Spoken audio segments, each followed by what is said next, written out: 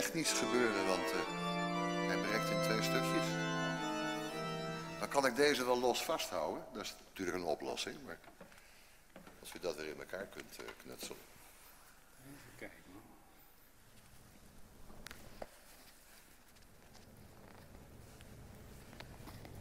Gaat u maar even wat voor uzelf doen.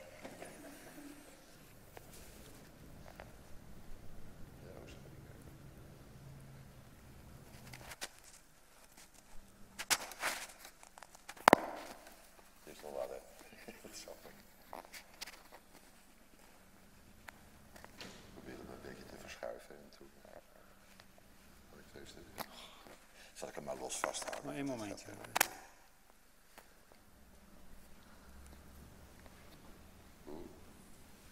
Is dat stevig genoeg, denk je? Ja, probeer het maar. Dan durf ik me helemaal niet meer te bewegen. Neem het zo om, hè. Ja.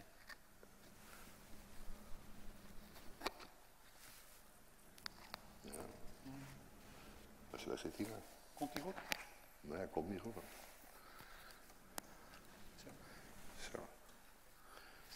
Een beetje in het baard duwen. Ik wist niet ook zo technisch. is goed van hem, hè? Technische broeder. Nou. Ik zou toch niet eh, willen dat mijn laatste dienst hier zo'n chaos wordt. Hè? Dat alles er nog wat misgaat. Straks valt er hier ook iets nog naar beneden. Heel voorzichtig zijn. Waarom gaan we staan bij de geloofsbeleidenis? Dat gaan we doen straks. Wie staat in de Bijbel, die staat klaar, die staat gereed om de wereld in te gaan in opdracht van God.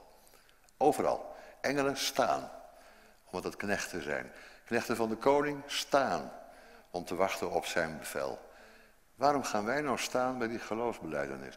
Niet alleen maar een teken van eerbied om te staan. Het is een teken van de bereidheid om ook te doen wat je dan uitspreekt of hoort. Te doen wat de beleidenis zegt te zijn wat de beleidenis uitspreekt. Te getuigen van wat de beleidenis zegt. Daarom wil ik u vragen te gaan staan. Zegt u dan deze woorden na in uw hart. Vanuit die intentie om het te doen, om het waar te maken, om ervan te getuigen. Ik geloof in God de Vader, de Almachtige, schepper van de hemel en van de aarde. En ik geloof in Jezus Christus, zijn enige geboren Zoon, onze Heer, die ontvangen is van de Heilige Geest, geboren uit de Maagd Maria, die geleden heeft onder Pontius Pilatus, is gekruisigd, gestorven en begraven, neergedaald tot in de hel en is op de derde dag weer opgestaan van de doden. Opgevaren naar de hemel, waar hij zit aan de rechterhand van God, de Almachtige Vader van waar hij komen zal om te oordelen de levenden en de doden. Ik geloof in de Heilige Geest. Ik geloof één heilige, algemene christelijke kerk, de gemeenschap van de heiligen, de vergeving van de zonde, de wederopstanding van het lichaam en een eeuwig leven. Amen.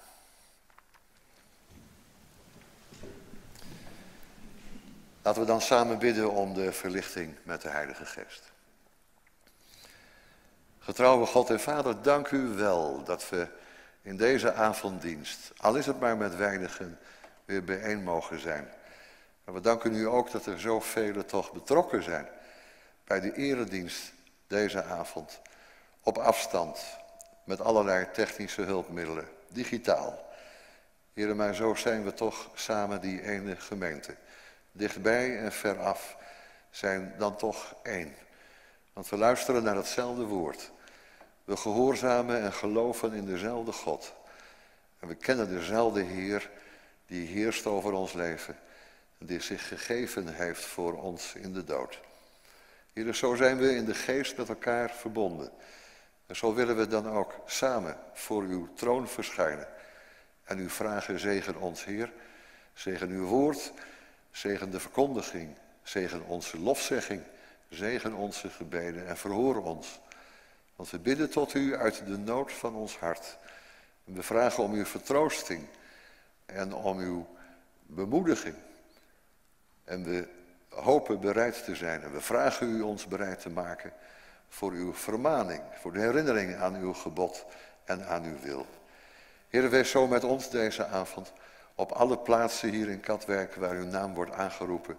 In heel de wereld, heren, waar uw kinderen u aanroepen. Zegen hen op de plaats waar ze zijn met wat zij nodig hebben. Zo bidden wij tot u in Jezus' naam. Amen. Het thema van de dienst, dat zat al een beetje in dat lied 328 dat we hebben gezongen. Heer Jezus, om uw woord zijn wij hier bijeengekomen. Het gaat om zijn woord.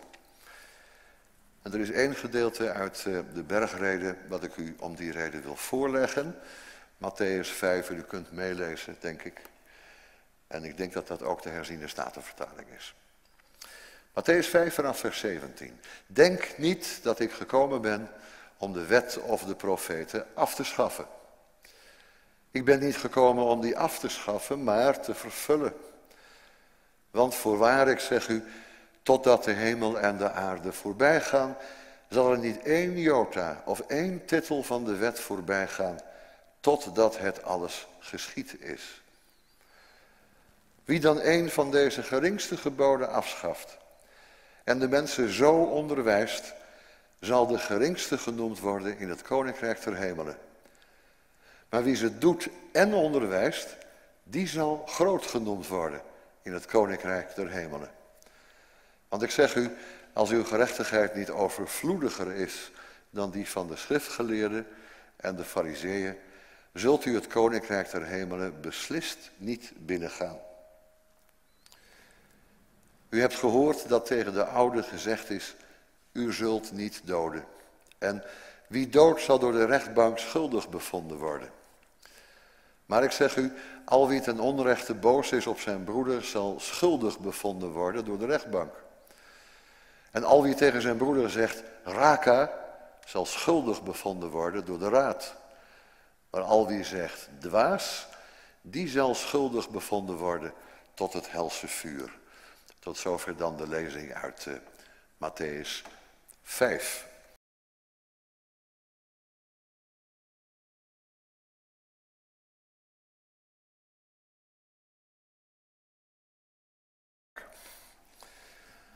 Zusters en broeders, gemeente van onze Heer Jezus Christus. We hebben gelezen over de wet en de profeten. We hebben gezongen over het woord van de Heer Jezus als de aanleiding om hier te zijn. En dat is wel actueel omdat er een kwestie speelt in onze samenleving die daar wat op lijkt. En dat is het merkwaardige verschijnsel dat mensen de laatste 30, 40 jaar steeds minder vertrouwen hebben in de wet, in rechtsregels of in opdrachten van de overheid. En we hebben dat natuurlijk ook om ons heen zien gebeuren. Want vanaf 6 maart, toen de eerste maatregelen kwamen tegen coronavirus, en dan tot nu aan toe, toch een hele tijd. En de eerste maand ging dat heel erg goed. Iedereen deed zo'n beetje wat de overheid van ons vroeg. En de tweede maand was het ietsje minder. En de vierde maand was het nog veel minder. En nu heb je echt groepen die zich bijna verzetten hè, tegen wat de overheid heeft opgelegd. Wet zonder geloof is alleen maar externe dwang. Wet zonder geloof roept verzet op. Als je niet vertrouwt wie de wetgever is, als je niet vertrouwt dat een maatregel verstandig is, in jouw belang is genomen, dan komt daar verzet op. En mensen hebben steeds meer de neiging om wetten te wantrouwen. Te denken dat iemand anders daar belang bij heeft. Niet te zien dat dat in hun eigen belang is. In de kerk speelt iets soortgelijks al een hele tijd een rol. En dat is dat heel veel kerkgenootschappen en kleine gemeenten buiten eh, onze kring, moet ik zeggen, de zaak dan weer omdraaien. Zij hebben het over geloof zonder wet. Geloof is dat puur subjectieve, persoonlijke, dat, dat zoeken naar een extase, naar een beleving, een ervaring van Gods aanwezigheid, waarbij je de wet, al die regels, eh, een leer over de zonde allemaal niet nodig hebt. Geloof zonder wet dringt hier en daar in allerlei kerken door en mensen verlaten, nou mag ik het zo voor de kortheidshalve zeggen, ons type kerken, omdat ze het elders dan in ruime mate kunnen beleven. Geloof zonder wet, spektakel zonder orde.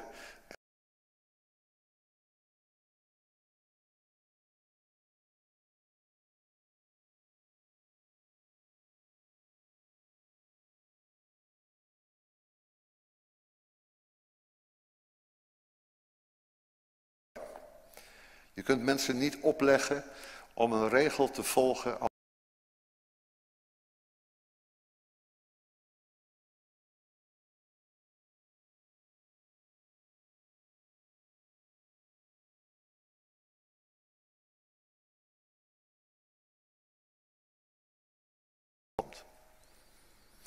En dat zie je voortdurend ook in de schrift. Ik vind dat altijd mooi om te zien. En u zou dat thuis kunnen nagaan. Hoeft u alleen maar te lezen Deuteronomium 5 en Deuteronomium 30. Deuteronomium 5, dat is de tien woorden in, in de versie van Deuteronomium. De tien woorden, de tien geboden die daar zo aan het volk worden gegeven. Daar staat verder niks bij. Maar vlak daarna gaan ze het gouden kalf aanbidden. Of pardon, het gouden kalf wordt aanbeden terwijl ze wachten op Mozes die van de berg komt.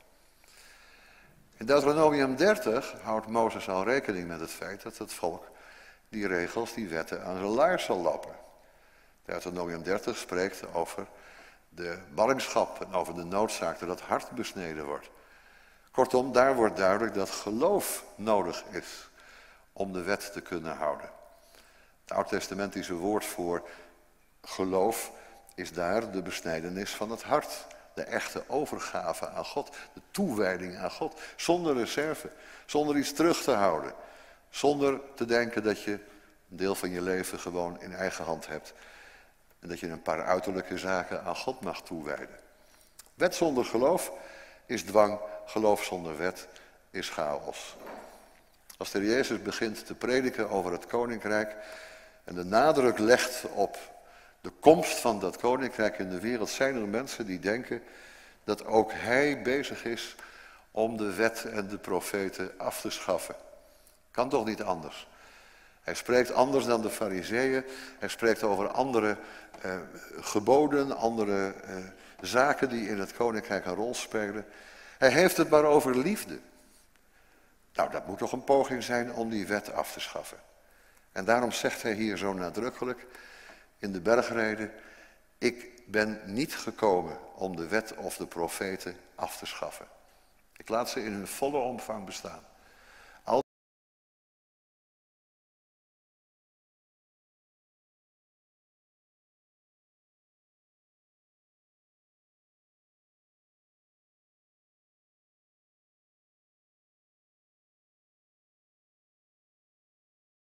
Dat hij gekomen is om die wet ook te doen.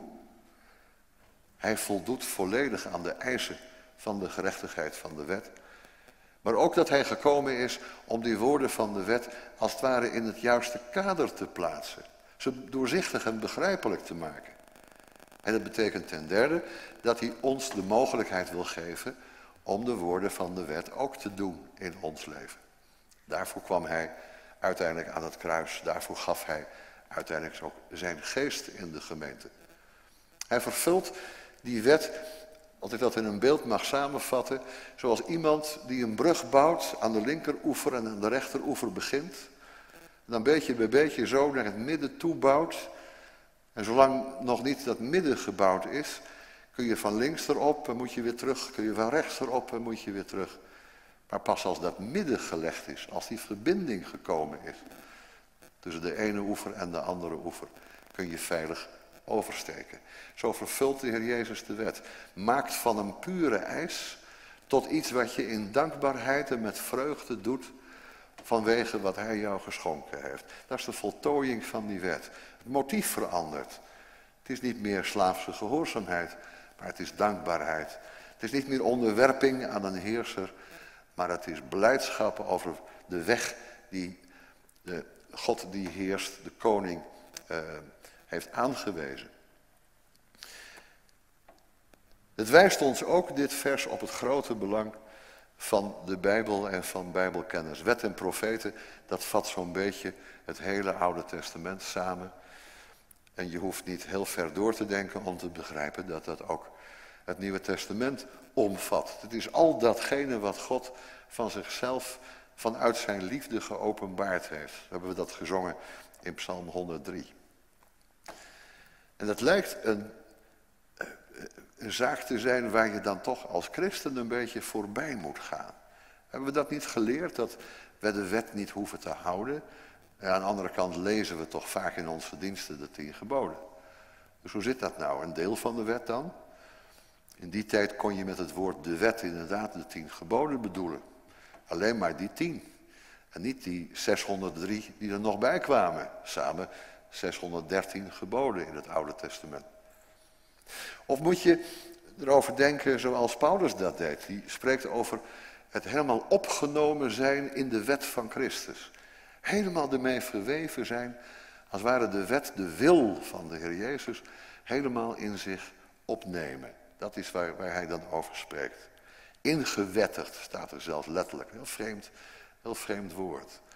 Maar dat de wil van Christus, van de Heer Jezus, dus zo eigen is aan ons dat hij ons van binnenuit vormt en onze weg bepaalt en bepaalt wat we zien en hoe we handelen.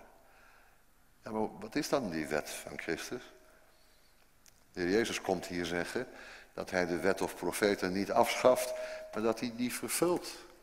De vervulde wet dus dan, de vervulde woorden van Mozes in het Oude Testament, is dat dan de wet van Christus?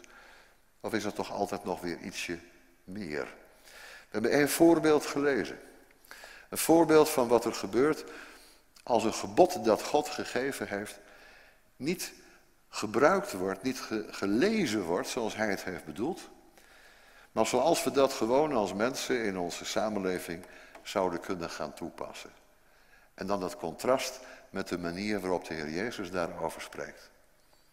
U hebt gehoord dat tegen de oude gezegd is, dus tegen al die vroegere generaties is gezegd, u zult niet doden. Ontzettend helder gebod zou je denken. Maar er is over geen ander gebod zo ontzettend veel discussie geweest als over dat. Wat betekent dat nou? U zult niet doden. En in een oorlogssituatie dan? En, en als het onvrijwillige doodslag is, onopzettelijke doodslag is, wat dan? U zult niet doden. En die ouden, die oudere generaties, die hadden dat zo begrepen dat je niet mag moorden. En als je dat wel doet, dan moet je voor de rechter verschijnen en dan moet er straf worden opgelegd. En doorgaans is die straf dan de doodstraf. Zo hebben ze dat begrepen. God geeft een regel, zoals een aardse koning ook een regel geeft, en er stelt een sanctie in. Zo werkt het toch. Er is een wet, wie het overtreedt, die krijgt een straf. En zo hebben we dat eigenlijk keurig ingepakt. dan vergeten we dat het God zelf is die dat gebod geeft. Dan vergeten we dat hij dat uitspreekt in die tien geboden tegen dat volk dat hij net uit Egypte bevrijd heeft. Dat hij een heel ander leven heeft gegeven. Heel ander perspectief op het leven. Dat bevrijd is van die afgoden. Dat geroepen is om te geloven in de Heer die hen bevrijd heeft. Om God te zien als hun bevrijder. Maar wacht even, dat is dan ook het perspectief waarin die tien woorden moeten klinken. En dan is gij zult niet doden toch niet die magere uitleg waardig. Wie dood, ja die moet straf krijgen. En dan moet er meer gebeuren. En dat is wat de Heer Jezus nu, om die wet te vervullen, duidelijk maakt. En dan begint hij bij iets, en ik stel mij zo voor als daar wetgeleerden gestaan hebben, dat die naar hun hoofd hebben gegrepen van wat, wat, wat, is dat nou voor een uitleg? Wat heb je daar nou aan? Dan begint de Heer Jezus te praten over iemand die boos wordt. Wat heeft dat nou met moord te maken? Iemand die zegt rare woorden tegen zijn naaste, gewoon een beetje uit uh, agressie. Uh, al wie ten onrechte boos is op zijn broeder, zal schuldig bevonden worden door de rechtbank. Alsof de rechtbank dat soort zaken zal aannemen. Alsof een rechtbank in die tijd zich zal uitspreken over iemand die ten onrechte boos is geworden. Gaat een rechtbank bepalen wat ten onrechte betekent? Gaat een rechtbank een sanctie opleggen omdat iemand boos geworden is? Nou, dan moet je aardig wat rechtbanken hebben. En die hebben het de hele dag aardig druk. Maar toch is dat in de, de taal van die tijd precies wat de Heer Jezus wil duidelijk maken. Als je werkelijk de rechtbank gaat gebruiken, een systeem van sancties, van rechters, van mensen die oordelen, om datgene uit te bannen wat God eigenlijk wil verbieden, ja, dan moet je zoiets hebben als een rechtbank die oordeelt over boosheid. Dan moet je zoiets hebben als een rechtbank die oordeelt als mensen raka, leeghoofd tegen elkaar zeggen. Raka betekent leeghoofd. Als je iemand een beetje wil pesten, dan zeg je tegen hem raka, want dan weet hij waarschijnlijk toch niet wat het betekent. Daarmee wil ik niemand aanmoedigen hoor, begrijp me goed. Ehm, maar eh, raka staat hier dan toch nog even in het Aramees tussen al die andere woorden. Raka zeggen, leeghoofd. Zoiets van, jij stelt niks voor. Die is schuldig bevonden. Ja, absurd. De hoorders zullen dat niet begrepen hebben, maar de Heer Jezus zegt het, zegt het zal schuldig bevonden worden door de raad. Dat is het Sanhedrin. Sanhedrin deed twee dingen. Die beoordeelde of iemand een afgoderij schuldig was. Er stond de doodstraf op. En die beoordeelde iemand die een moord gepleegd had, waarbij de omstandigheden onduidelijk waren. Dan moest het Sanhedrin daar een oordeel over vellen. En er kwamen er 70 rechters bij elkaar in een grote zaal zoals deze, met oplopende trappen. En dan ging de jongste daar rechts zitten, die kwam als laatste binnen en de oudste die ging dan linksboven zitten. En dan werd die zaak gehoord, er waren getuigen, er was een advocaat, er was een uh, pleiter, uh, ja, een soort van openbaar ministerie, die legde die zaak voor. En dan werd het oordeel geveld, te beginnen bij de jongste die het laatste was binnengekomen. Die moest als eerste spreken, want anders zou hij die oudere, meer ervaren rechters gaan napraten. Eerst het oordeel van de jongste. Kun je je voorstellen, 70 rechters? Dan word ik binnengebracht. Ik heb net tegen iemand raak aangezegd. En dan gaan die 70 rechters daar een paar uur over delibereren en de getuigen horen. Hoe hard zei hij dat? En zei hij dat eh, met venijn in zijn stem. Het is een absurde voorstelling. Wat maakt het dan duidelijk? Nou, het derde is helemaal absurd. Al wie zegt dwaas, die is schuldig geworden tot het helse vuur. Daar is niet eens een aardse rechtbank voor mogelijk. Dat zal God in het laatste oordeel wel veroordelen en straffen. Wat wil hij daar nou mee zeggen met die enorme overdrijving? Hoe kan dat nou een manier zijn om die wet te vervullen, compleet te maken? Het maakt twee dingen duidelijk. Het maakt in de eerste plaats duidelijk dat tot onrechte boos worden en raka zeggen en dwaas zeggen eigenlijk net zulke zware zonden zijn als moord, of minstens tot moord kunnen leiden. Is een houding waarbij het belang van een ander, het leven van een ander, onbelangrijk geacht wordt. Dat druk je uit met die woorden. Woorden kunnen iemands reputatie teniet doen. Woorden kunnen iemand tot de bedelstaf brengen. In een vals getuigenis bijvoorbeeld voor de rechtbank. Woorden kunnen iemand zo schokken en kleineren dat hij de moed verliest om in het leven te doen waartoe hij geroepen is. Woorden zijn in staat om zo te verwonden, om zo diep iemands ziel te raken, dat degene die ze uitspreekt het alweer vergeten is. En degene die ze hoort zijn leven lang er niet meer van afkomt. We mogen onze woorden, de woorden die we spreken, met name de woorden die we in drift spreken, niet onderschatten. Dat zijn krachtige wapens. En de Jezus zegt, kijk, alleen al ten onrechte boos zijn, dan zeg je nog niet eens wat. Maar je hebt een toornig gezicht en je wendt je af. Je stapt eigenlijk buiten die relatie. Dan zegt de Jezus, kijk, dat is eigenlijk al zo erg. Dat is al zo'n overtreding van hoe God het bedoeld heeft, dat eigenlijk zou je daar dan een rechtbank voor moeten hebben. Als je een rechtbank hebt vermoord, dan ook een recht, rechtbank voor tot onrechte boos zijn. Kent u dat? Misschien kent u dat niet. Maar een boosheid die opkomt en die je lekker vasthoudt. Dat je eigenlijk liever in je boosheid blijft zitten, dan dat je die zaak nu op een akkoordje gooit, een compromis sluit. Help mij, zegt u eens even dat u dat wel kent. Ben ik de enige die het doet? Nee toch? Maar ik weet het uit mijn eigen, eigen leven. Dat je soms het zo lekker vindt om boos te zijn. Dat een ander daar echt even last van heeft. Mijn zusje heeft me al lang vergeven hoor, maar dat heb ik bij haar wel eens gedaan toen we opgroeiden. Boos worden, eigenlijk ten onrechte, want zo erg was het allemaal niet. Maar dan je boosheid helemaal mooi, dramatisch laten zien. Ik ben boos op jou. Ik wil niks meer met je te maken hebben. En dan zien wat dat doet bij een ander. Genieten van de macht die jou dat geeft over een ander. De Heere vergeeft me, vergeven mij dat. En mijn zus heeft me dat vergeven. Maar zo werkt dat. Is dat klein? Is het onbelangrijk, zoiets? Een incident uit de jeugd, een incident tussen een broer en een zus. Maar het kan ook gebeuren dat dat veel ernstige gevolgen heeft. Dat het een patroon van handelen wordt en dat een van beiden in dat patroon gaat volharden. Ik krijg mijn zin bij anderen als ik boosheid laat zien. Of een ander, ik moet onmiddellijk maar wijken als er boosheid in het spel is. Ik moet mezelf maar klein maken, zodat die bui van boosheid over me heen gaat. Dan wordt het een patroon in het leven. Een verminking. Want je hoort rechtop te kunnen staan. Aan elkaar in de ogen te kunnen kijken. En met elkaar te kunnen uitwisselen wat je maar wilt. En vrij met elkaar te kunnen communiceren. Zoiets als ten onrechte boos zijn is veel zwaarder dan je zou denken. De Heer Jezus maakt hier duidelijk dat achter dat verbod, u zult niet doden, eigenlijk alles schuil gaat.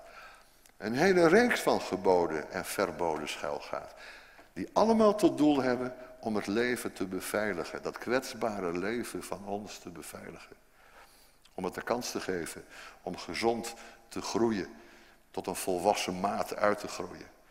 Zodat die volwassene die je dan uiteindelijk wordt, niet scheef gegroeid is, niet een mankement vertoont door wat schijnbaar zo onbelangrijk en onschuldig is. Daarom die overdrijving. Niet alleen maar omdat hij ze wil inprenten. Jullie maken je dan zorgen op het moment dat er moord gepleegd wordt. Dan ga je je zorgen maken. En al dat andere dat eraan vooraf gaat. Wat ook levensbedreigend is. Leven klein maakt. Leven afkapt leven verminkt. Daar maak je je niet druk om. Je zou je er net zo druk om moeten maken. Desnoods via een rechtbank. Zo geeft hij drie voorbeelden. Ene nog zwaarder dan het andere. Bij de eerste wordt niks gezegd. Bij de tweede wordt gefluisterd. Een beetje een kinderwoordje is dat, raka.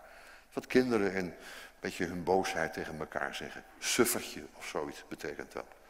Nou, dat mag toch wel, hè? Broeders en zusters, dat mag toch wel? Suffertje zeggen. Nee, mag niet. Die zal schuldig bevonden worden door de raad. Komen die 70 rechters, die komen opdagen om tegen u te zeggen, u uit te leggen. Dat is ook iets wat het leven van een ander klein maakt. Degene die het zegt, die geniet van zijn macht. Dat hij suffert kan zeggen, dat niks wordt teruggedaan. Degene die het hoort, die lacht het weg.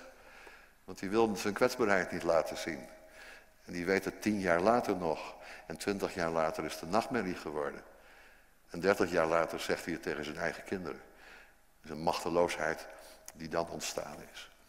Woorden hebben effect, woorden hebben macht, woorden, woorden doen iets bij mensen. Je moet niet pas gaan ingrijpen als het eigenlijk al te laat is. Als die woordjes uiteindelijk aanleiding hebben gegeven, uitgegroeid zijn tot zoiets als de wens om te doden.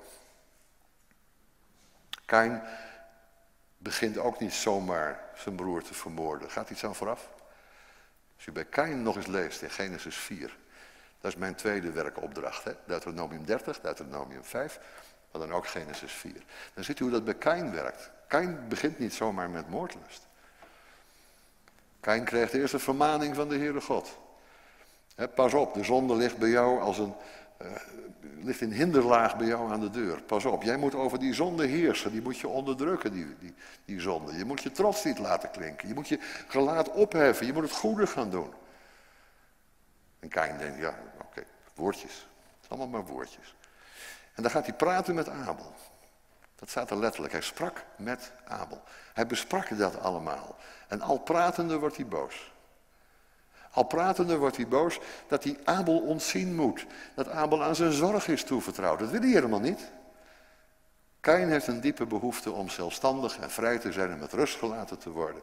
Zijn eigen leven te leiden. En dan moet hij op Abel passen als de zwakkere broer van de twee. Al pratende met Abel komt de drift bij hem omhoog. En dan staat hij tegen hem op en slaat hem dood. Er staat niet eens bij waarom dat dan gebeurt. Nee, dat weten we al, waarom dat gebeurt. Door het spreken, door afgunst, door eh, misschien wel een begin met een onrechte boos zijn op zijn broer. Hij laat zich zijn gelaat zakken. Hij is ten onrechte boos op Abel. Omdat Abel iets van zijn eigen tekortkomingen heeft laten zien.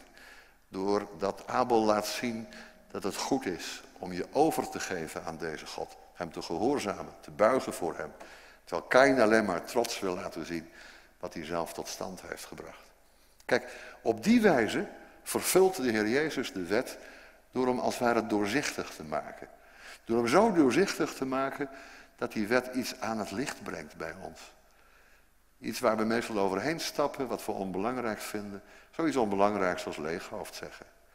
En al die andere dingen die in de bergreden staan.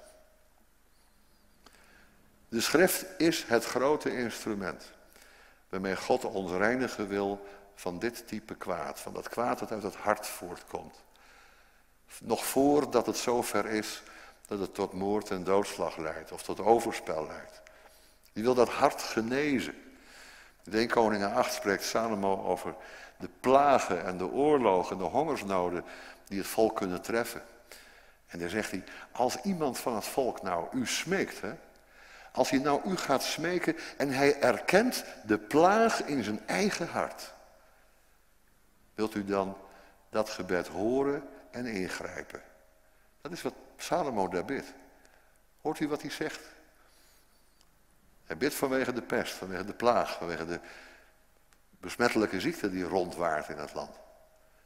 En dan zegt hij, ja maar heren, als wij nou erkennen dat wij ook een plaag hebben, een plaag in ons eigen hart, die zonde die maar voortwoekert, die besmettelijk is en de ene lokt de andere uit. En wat we doen bij anderen lokt bij die andere weer een weerwoord uit. En zo maken we alles kapot onder onze handen. Heere, genees ons hart. Want anders heeft de genezing van ons lichaam geen enkele zin. Wat baat het ons als de hele wereld straks genezen is van coronavirus en ze heeft geen geloof? God is buitengesloten. Een gezonde mensheid zonder dat geloof in de schepper. Zou je dat op die manier willen ruilen? Heren, als u ons nou genezen wilt, is, is prachtig, maar neem dat geloof maar ook maar weg. Het zit ons toch alleen maar in de weg. Het is toch, is toch absurd om zoiets te denken? Een wereld die genezen is. Zou je dat mogen wensen? Als dat zou betekenen dat er geen geloof meer is. Maar wat heb je dan nog? aan de andere kant mag je dan wel wensen dat misschien die hele wereld tot geloof komt. En dat wel zo'n plaag woedt. Zou dat kunnen? Is dat denkbaar? Is het denkbaar dat de plaag van ons hart genezen is, terwijl de pandemie over de aarde nog voortwoedt? Wat zou dat in Gods ogen betekenen? Gezondheid van het hart, geloof in deze God, onderwerping aan die schepper en dan een virus dat ons voortdurend plaagt, voortdurend aan onze grenzen verwijst, voortdurend oproept om solidair te zijn, misschien buiten wat we zelf zouden willen. Wat zou hij kiezen? Wat zou u kiezen? Als u zo'n keuze zou moeten maken. Een gezonde mensheid zonder geloof. Of een mensheid vol geloof die toch voortdurend door zo'n crisis heen moet. Deze en dan weer de volgende en dan weer de volgende. Salomo heeft er geen problemen mee. Salomo weet wat belangrijk is. Dat ons hart gereinigd wordt. Dat wij in ons hart genezen worden. Maar daar komt veel meer kwaad uit voort dan uit welk virus dan ook. En het begint bij zoiets onschuldigs als woordjes en onverzoenlijkheid. En een conflict tot het einde toe willen uitvechten. Met een tegenpartij naar de rechter gaan omdat je het blijvend oneens bent. En je wilt niet wijken, je wilt niet de minste zijn. En het gaat niet meer om jouw belang, het gaat om het winnen. En dan het overspel waarbij je denkt, ach wat maakt het mij uit als ik Hè, of mijn vrouw het niet weet, wat is dan het probleem eigenlijk? Zo gaan mensen denken. En dan valt die wet helemaal weg. En daarmee ook het geloof. En dan hou je uiteindelijk geen sporen meer over van het koninkrijk ter hemelen. Hij is niet gekomen om wet of profeten af te schaffen. Hij is niet gekomen om het ons makkelijker te maken. Hij is niet gekomen om ons een uitweg te bieden, omdat die geboden zo zwaar en vervelend en moeilijk zijn. Hij is gekomen om die wet nog veel dieper in ons hart te leggen. En hem te leggen op de plaats waar het echt pijn doet. Bij die kleine dingen die wij zo, wel, eh, die wij zo veronachtzamen. En die we zo weinig waarde toekennen. Dan stel je voor dat je dat zou beseffen. Dat je eigenlijk op één lijn staat met een moordenaar. Iemand die leven neemt, definitief. Als je een klein stukje leven van een ander wegneemt. Klein stukje zelfbewustzijn. Klein stukje zelfvertrouwen. Dat je dat wegneemt. Als baas op het werk. Of als leden van een familie onderling. Kleineren, daar begint het mee. Iemand lager plaatsen dan hij eigenlijk is. Lager plaatsen dan jij, te willen van jezelf. En daarmee neem je leven van een andere weg. Kijk, dat is de vervulling van de wet. En dan kan hij zeggen, kijk, die wet, als je hem zo leest. Als je hem leest naar zijn volle omvang, zijn volle diepte. Ja, die gaat nooit voorbij. En die mag je niet afschaffen. Je mag geen enkele van Gods geboden op die manier terzijde schuiven. En je mag het zeker de mensen niet onderwijzen. En dat geldt zeker voor al die gemeenten die zeggen, wat hebben we toch met Gods wet te maken? Het gaat toch om de inspiratie van het ogenblik. Het gaat om wat de Heilige Geest ons ingeeft. Daar zijn we van afhankelijk. Maar toch niet van die woorden die daar staan. Zou je die mogen afschaffen dan? Wie een van deze geringste geboden, de geringste geboden. Niet alleen maar dat je niet leeghoofd mag zeggen, maar dat betekende voor Joodse gelovigen dat ze zelfs de kruiden die ze in de soep deden, dat ze daar een tiende van aan de tempel moesten geven. Dat als je geniet van je eigen rijkdom en welvaart hier, dat je nooit, nooit, nooit mag vergeten dat er mensen zijn die het slechter hebben dan jij. Het is bij Jodendom de gewoonte dat een hele periode lang elke dag iets gegeven wordt. Als een soort van aalmoes. Hè, wordt in een speciaal potje gestopt. Zodat je elke dag eraan denkt dat anderen het slechter hebben dan jij. Want uiteindelijk, vers 20, als uw gerechtigheid niet overvloediger is dan die van de schriftgeleerden en de fariseeën. Kijk, dat is nou jammer dat de schrift dat zegt. Wat was het niet mooi geweest, zusters en broeders? Hadden we elkaar kunnen feliciteren als er staat, nou, je gerechtigheid hoeft maar een beetje te lijken op die van schriftgeleerden en fariseeën. Ik ben tevreden met, het, met een klein beetje. Is al genoeg voor dat koninkrijk. Klein, klein beetje. Als je nou een beetje erop let. En als het nou tien van de twaalf keer misgaat, dan is het toch twee keer goed. Zo praten we elkaar toch een beetje aan dat het allemaal niet zo belangrijk is. Dat staat er niet. Als uw gerechtigheid, als jouw gevecht dagelijks, als jouw inzet dagelijks, om deze Heer te volgen, om deze Heer te gehoorzamen in al zijn geboden. Als dat niet uiteindelijk leidt tot een overvloed, tot meer dan alleen maar het, het zuinige, het, het, laagste, het laagste wat je dan maar kunt bereiken. Als je niet genoegen neemt met een oordeel over jezelf, je zegt van ja, ik ben wel eens ten onrechte boos, maar niet zo vaak. Hij is vaker ten onrechte boos. Als je dat niet kunt, als je dat niet mag, dan wordt het leven dan niet heel anders. Wordt het leven dan niet heel anders als dat ons doel moet zijn? Want de Heere God wil ons heiligen. Dat is zijn doel. Niet alleen maar vrijspreken van zonde van vroeger.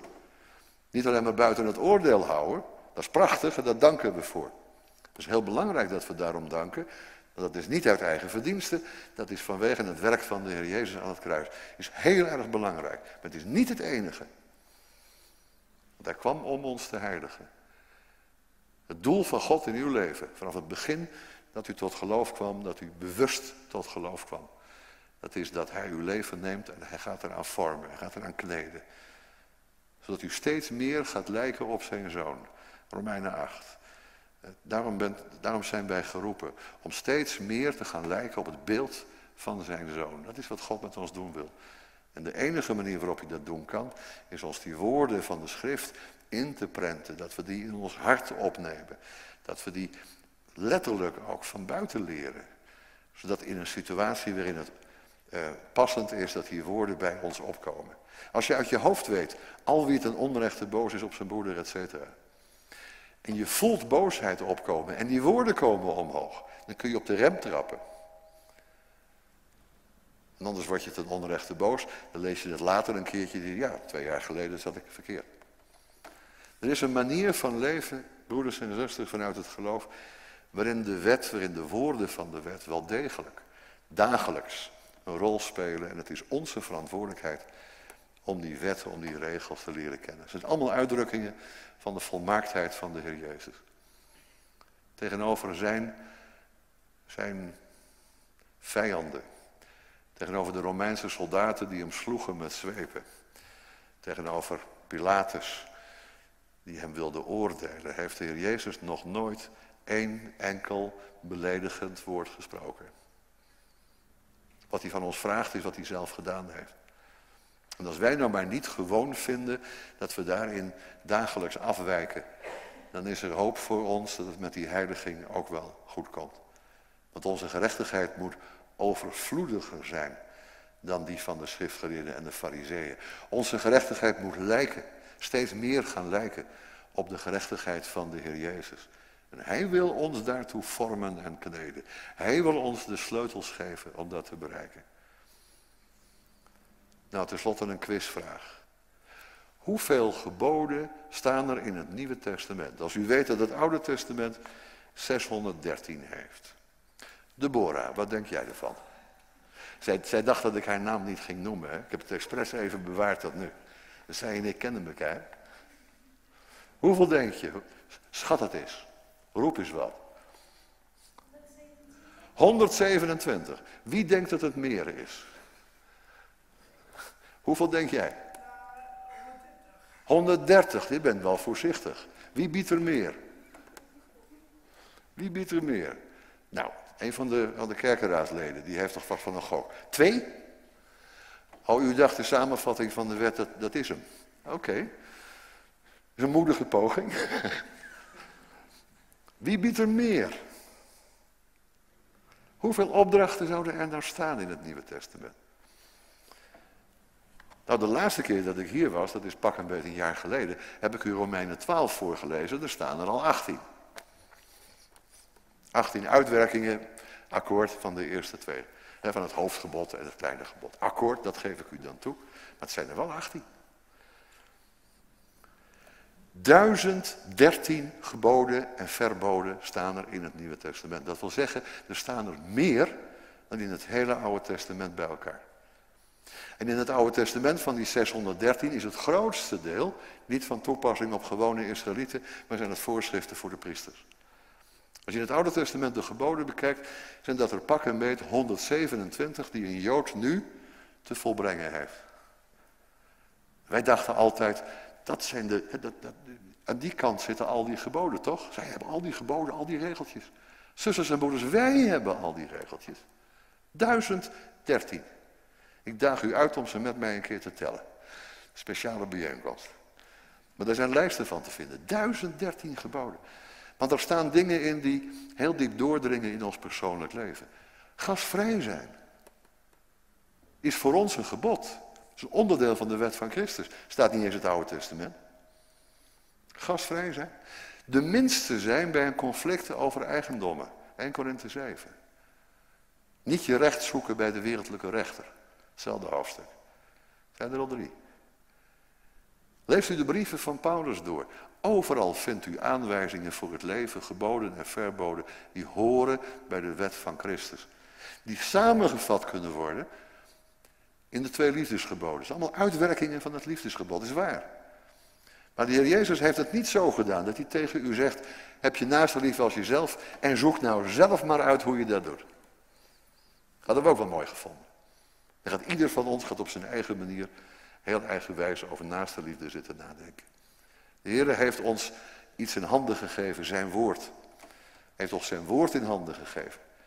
Waardoor we weten, kunnen weten, wat hij van ons vraagt. Als we maar de openheid hebben om dat woord te lezen. Dat woord is voldoende. Dat woord is helder als de Heilige Geest het ons uitlegt en op ons geweten bindt. Het woord is gezaghebbend. Want het is Gods woord. En het woord is noodzakelijk, want zonder dat woord zouden wij waarachtig niet weten wat God eigenlijk van ons vraagt. En daar is het mij uiteindelijk in deze boodschap om te doen geweest. Dat u het weer eens hoort, hoe belangrijk Gods woord is. Dat dat elke dag in uw mond en op uw lippen moet zijn. Dat u het op uw handen moet binden, omdat u handelingen moet bepalen. Dat u het moet slaan aan de poorten van de deuren van uw huis. Zodat u naar buiten gaat en voordat u naar buiten gaat het leven in weer beseft dat u aan dat woord gebonden bent. Dat u het op uw voorhoofd bindt, zodat uw denken erdoor bepaald wordt. Dat is wat dat woord met ons wil. Zodat het uiteindelijk leidt tot een gerechtigheid die overvloediger is dan die van schriftgeleerden en fariseeën. Die berekenende burgers zijn geworden in Gods koninkrijk. Die zoeken naar het makkelijkste en naar het laagste. En die het zelf willen uitzoeken. En niet willen nadenken over boosheid. En over het woordje als leeghoofd en raka. Dat gaat ze te ver en dat is te lastig. Maar dat wordt u en mij wel opgedragen. In de bergreden. In dat programma van koning Jezus. Waarin hij uitlegt hoe zijn koninkrijk eruit moet zien. En hoe wij, die burgers van dat koninkrijk zijn, ons moeten gedragen. Mijn wens is het dat de gemeente, gemeente van Christus, zijn woord ijverig leest en bestudeert en praktiseert en gehoorzaamt en toepast. Dat we samen zoeken naar manieren om dat woord toe te passen. Al die 1016 opdrachten geboden. Opdat het gebod van de naaste liefde en het gebod om God boven alles lief te hebben, waarachtig in al die details ook vervuld zal zijn. Geen spektakels, geen chaotisch enthousiasme is nodig. Geen inspiratie plotseling van de Heilige Geest die ons door elkaar schudt en die ons zomaar allerlei dingen laat doen. Dat is niet Gods weg. Gods weg wil ook het verstand bij alles betrekken. Begrip kweken voor wat hij wil. En wil ons oproepen om dan nauwkeurig lezend te doen wat hij van ons vraagt. Tot een zegen voor ons en tot een getuigenis van zijn grootheid. Hem zij de eer en de heerlijkheid en de kracht tot in eeuwigheid. Amen.